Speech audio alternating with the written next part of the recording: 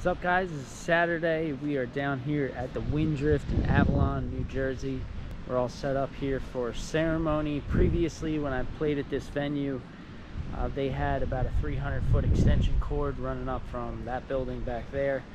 Uh, they sold the building under new ownership so they no longer are allowed to run electric out here for whatever reason. What they're providing is the JBL party box and I got an auxiliary cord here for backup as well as we're going to be plugging into Bluetooth and then they have a wired mic coming out of there. So I'm now honored to pronounce you husband and wife. Taylor and Anthony, please seal your marriage with a kiss.